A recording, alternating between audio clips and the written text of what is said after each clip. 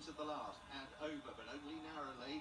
In the centre, it's Nijka and on the far side, Mambon number five, and Nijka Ass now goes on for Ludovic Philippe and it's Nijka Ass who's opened up by a couple of lengths. It looks